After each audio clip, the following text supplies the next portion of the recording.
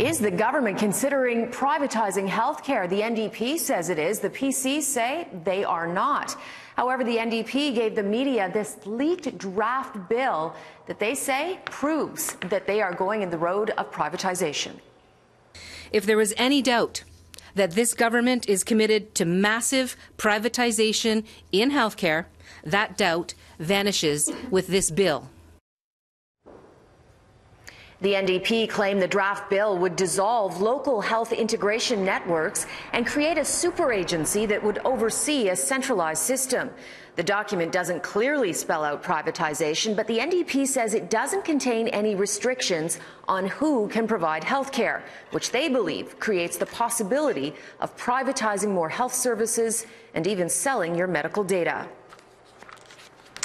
Now, Health Minister Christine Elliott uh, gave a news conference that was called shortly after the NDP made these claims, and she came out swinging. She says this is just early proposed draft legislation, and she says this clearly, the NDP claims clearly shows they don't understand health care.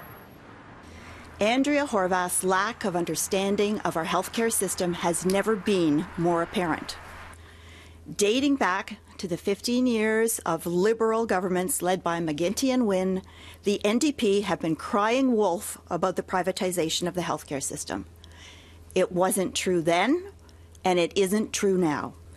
Our government for the people strongly believes in our public healthcare system and is strongly committed to improving public healthcare for patients.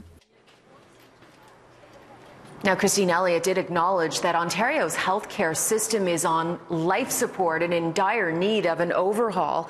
All of this has completely overshadowed another report by uh, Doug Ford's healthcare advisor, Dr. Rueben Devlin. He's been tasked with ending hallway medicine, and his report came out earlier today, and his findings echo ones that we've been telling you about on City News for years. Devlin's report finds each day approximately 1,000 patients are waiting on stretchers for a hospital bed. 41% of people who went to emergency departments could have been treated by their primary health care provider. And there was a 72% increase in emergency department visits for children and youth with mental health issues over the last 11 years.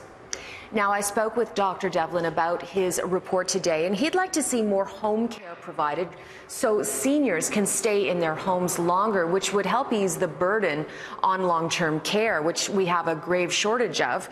Uh, he also wants to see more mental health care services in communities, and he believes we need to use technology to help people from ever even having to go to the hospital.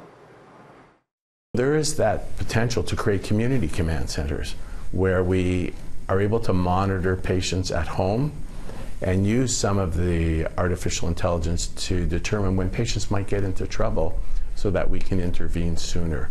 That means a visit to their physician's office as opposed to a visit to the emergency department right. and avoided admission to hospital.